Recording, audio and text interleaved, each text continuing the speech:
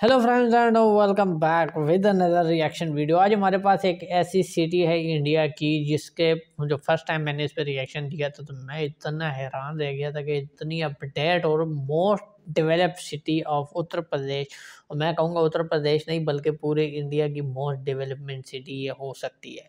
तो इसका अगेन हमारे पास एक फैक्ट्स वाली वीडियो है कि यहाँ पर क्या है, क्या नहीं है, कौन सी चीज़ें ऐसी है जो इस सिटी को फ़ेमस बनाती है इस सिटी को ख़ास बनाती है लोगों को अट्रैक्ट करती है कि भैया आप आए नोएडा सिटी को देखें यहाँ का विज़िट करें। तो वो सारी डिटेल हमारे पास इस वीडियो में शो होंगी।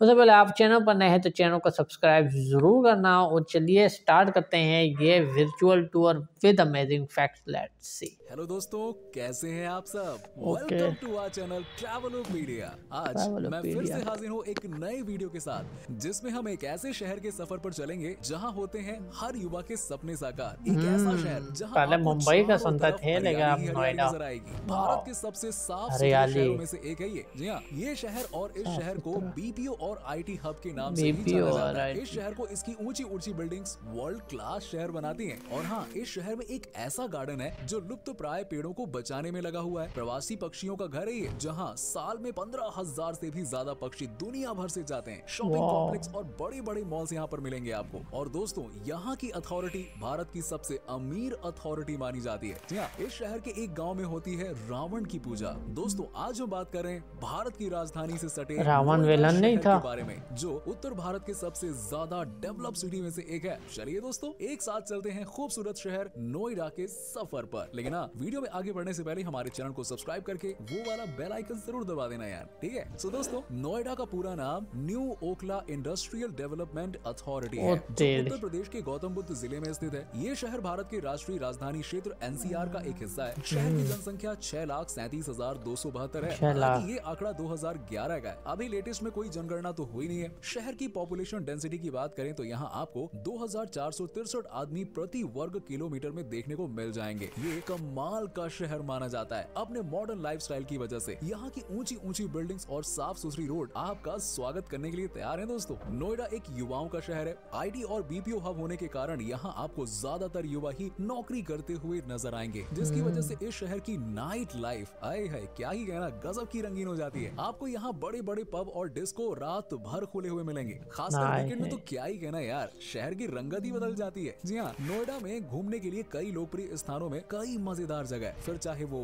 मॉल हो या एडवेंचर पार्क हो या क्लब्स हो नोएडा में हर उम्र के लोगों के लिए कुछ न कुछ तो मौजूद ही है यार। साथ ही साथ यहाँ इतिहास प्रेमियों के लिए भी कई म्यूज़ियम और ऐतिहासिक स्मारक है जिन्हें आप वीकेंड पर अपनी ट्रैवलिंग लिस्ट में शामिल कर सकते हैं। Nice. पूरे भारत का सबसे हरा भरा शहर माना जाता है। oh. ये शहर अपने कुल क्षेत्रफल का पचास प्रतिशत भाग हरियाली को समेटे हुए जो की भारत के किसी भी शहर में सबसे ज़्यादा है। साथ ही साथ ये शहर सबसे साफ़ सुथरे शहरों में से एक है। नोएडा सत्रह अप्रैल उन्नीस सौ छिहत्तर को प्रशासनिक अस्तित्व में आया था इसीलिए हर साल 17 अप्रैल को नोएडा दिवस के रूप में यहाँ मनाया जाता है। पश्चिम और दक्षिण पश्चिम में यमुना नदी से उत्तर और उत्तर पश्चिम में दिल्ली शहर से उत्तर पूर्व में दिल्ली और गाजियाबाद शहर से और पूर्व और दिल्ली पूर्व में हिंडन नदी से घिरा हुआ है। इस शहर में आप ब्रज की संस्कृति की झलक देख सकते हैं।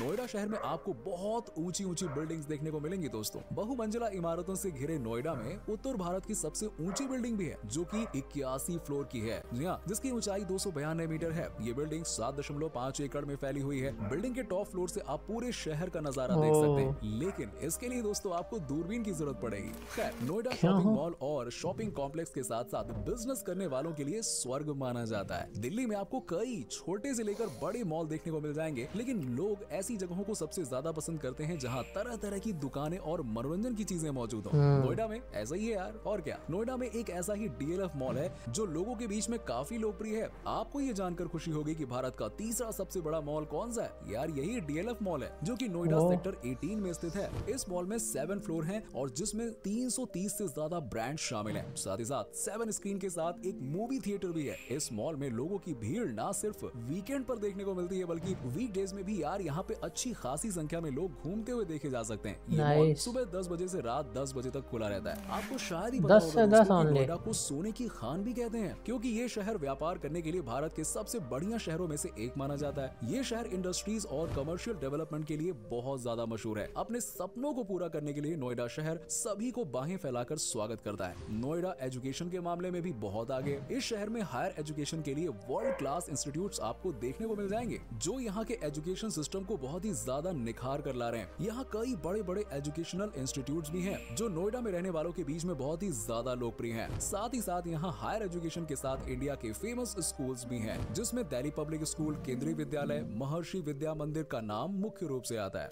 दोस्तों, नोएडा समुद्र तल से 202 मीटर ऊपर है। अगर मौसम की बात करें तो नोएडा शहर में आपको गर्मी में यार बहुत ज़्यादा गर्मी और ठंड में बहुत ही ज़्यादा ठंड देखने को मिलेगी. गर्मी में मार्च से जून तक तापमान 48 डिग्री सेंटीग्रेड से 28 डिग्री सेंटीग्रेड तक जाता है। पूरे साल इस शहर में थोड़ी बारिश होती है। इस शहर की सर्दी भी यार बहुत ही फ़ेमस है क्योंकि बहुत ज़्यादा होती है। और क्या आपको इस शहर में जनवरी के महीने में घना कोहरा देखने को मिलेगा। ट्रैवलिंग की बात करें तो आपको इस शहर में वर्ल्ड क्लास मेट्रो देखने को मिलेगी जो पूरे शहर और देश की राजधानी दिल्ली से कनेक्टेड है। ये शहर ब्लू लाइन मेट्रो से दिल्ली के कनॉट प्लेस द्वारका सिटी और न्यू दिल्ली से पूरी तरह से जुड़ा हुआ है। ब्लू लाइन के अलावा यहाँ पर एक्वा लाइन से भी पूरे नोएडा को आपस में जोड़ा गया है। हमें दोस्तों आपको पहले बताया ना कि ये शहर बीपीओ और आईटी हब के लिए जाना जाता है। नोएडा इन्फॉर्मेशन टेक्नोलॉजी और कंप्यूटर साइंस में बहुत आगे निकल गया है। आज के समय में ये शहर मुंबई को टक्कर दे रहा है। कई देशी और विदेशी कंपनी इस शहर में अपना बिज़नेस बढ़ा रही है। इसी कारण से ये शहर रोज़गार के मामले में भी बहुत आगे है। नोएडा सिर्फ़ आईटी और बीपीओ का घर नहीं है बल्कि ये शहर प्रवासी पक्षियों का भी घर है। नोएडा में यमुना नदी के किनारे स्थित ओखला बर्ड सेंचुरी दुनिया भर से आए प्रवासी पक्षियों के रहने का ठिकाना है। ये पक्षी विहार 400 हेक्टेयर में फैला हुआ है। यहाँ की कुल ज़मीन का 80 प्रतिशत भाग पानी से जलमग्न है। यहाँ पर सालाना पंद्रह हज़ार ऐसी ज़्यादा प्रवासी पक्षी यूरोप अमेरिका कनाडा साइबेरिया और कई देशों ऐसी हज़ारों मील दूर की यात्रा तय करके आते हैं। सर्दी बढ़ते ही ये विदेशी पक्षियों ऐसी गुलजार होने लगता है। यहाँ 324 से ज़्यादा प्रजाति के पक्षी पाए जाते हैं जिनमें से करीब 50 प्रतिशत प्रवासी पक्षी हैं और इनमें कई ऐसी प्रजातियाँ हैं जो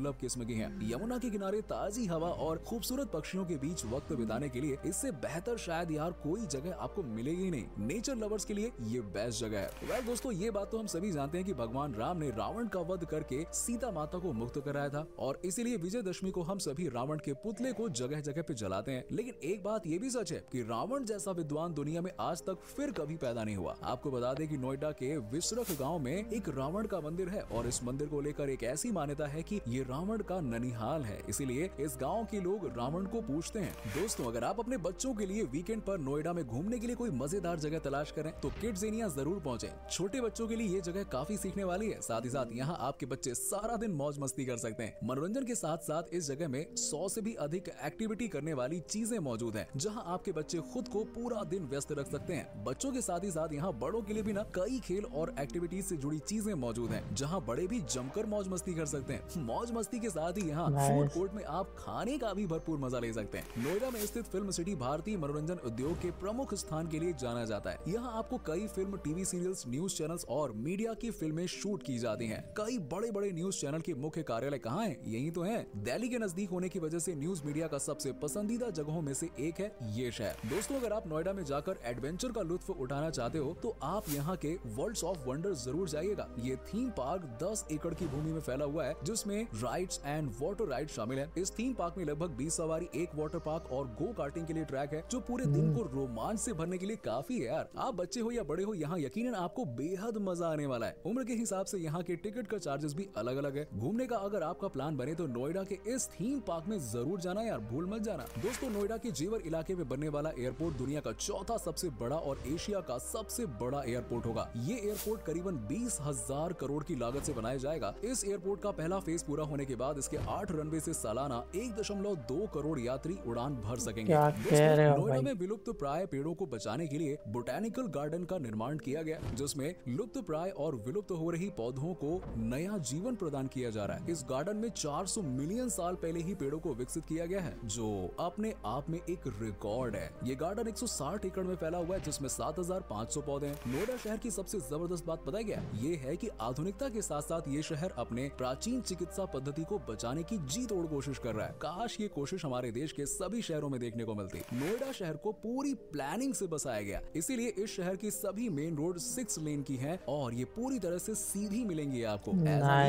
मिले इस शहर में आपको तीन मुख्य expressway DND flyway Noida Greater Noida expressway and Yamuna expressway मिलेगा। नोएडा में फार्मूला वन का सर्किट है जो भारत ही नहीं बल्कि दक्षिण एशिया में अपनी तरह का पहला सर्किट है। ये मोटर रेसिंग सर्किट है जिसकी लंबाई करीबन पाँच किलोमीटर की है। इस सर्किट में Formula One Indian Grand Prix 2011 से लेकर 2013 तक आयोजित हुआ था। इसके बाद कुछ राजनीतिक कारणों से इस ट्रैक पर अब कोई बड़ी आयोजन नहीं हो पा रही है। दोस्तों तो ये था बहुत ही खूबसूरत और आधुनिक शहर नोएडा। उम्मीद करता हूँ की आपको हमारा ये एपिसोड पसंद आया होगा। दोस्तों, हमें नीचे कॉमेंट सेक्शन में कॉमेंट करके गाइस बहुत ही अमेजिंग सिटी है आपने अगर इस जगह का विज़िट किया है तो मुझे कमेंट में सबसे पहले तो बताएँ कि यस आपने नोएडा सिटी विज़िट किया है, या इनमें से कोई भी पार्ट ऑफ़ थीम पार्क आप गए हैं, या वो बच्चों वाली जगह पर गए हैं, या आपने किसी गैलरी गए हैं या ये जहाँ पर परिंदे इन्होंने रखे हुए हैं, पौधे रखे हुए हैं, इस जगह पर गए मुझे ज़रूर बताइएगा। और उसके बाद आते हैं नोएडा सिटी पर। नोएडा सिटी में इतनी हाई टेक्नोलॉजी इतना हाई इन्होंने डेवलपमेंट की है। मैं कहूँगा कि इंडिया की सबसे डेवलप सिटी है, क्योंकि ये अभी से कह रहा है कि भाई ये मुंबई को टक्कर दे रहा है। अभी से अगर ये सिटी मुंबई को टक्कर दे रही है तो सोचो कि आइंदा एक दो साल में ये मुंबई को बहुत पीछे छोड़ जाएगी। क्योंकि पहली बात तो ये कि मुंबई में पॉपुलेशन बहुत ज़्यादा है डेंसिटी वहाँ पे लोगों की बहुत ज़्यादा हो गई है, और दूसरी जानब नोएडा सिटी में हमें ग्रीनरी बहुत ज़्यादा देखने को मिल रही है। उन्होंने कोई तीस परसेंट आई थिंक पचास परसेंट बोला है कि ग्रीनरी के लिए छोड़ दिया है और मुंबई में दूसरी जानब हमें ग्रीनरी नहीं नज़र आती। तो इस लिहाज से भी नोएडा सिटी नंबर आगे ले सकता है और ये बहुत बड़ी बात है और नोएडा सिटी के लिए मैं खुद बहुत ज़्यादा एक्साइटेड हूँ कि काश ऐसी सिटी पाकिस्तान में तो मज़ा आ जाता घूमने फिरने जाते और हर किस्म का एंटरटेनमेंट आपको यहाँ पे मिलेगा। सही कहा यार, बच्चे बूढ़े, जवान हर किस्म के लोगों के लिए यहाँ पर हर चीज़ अवेलेबल है। तो उम्मीद है आपकी वीडियो आपको पसंद आई होगी, अच्छी लगी तो वीडियो को लाइक करें, जिस वीडियो पर आप रिएक्शन चाहते हो उसका लिंक दें या उसका नाम लिख के कमेंट में बताएँ, उस पर नेक्स्ट वीडियो आपकी होगी। मिलते हैं अगली वीडियो में, तब तक के लिए गुड बाय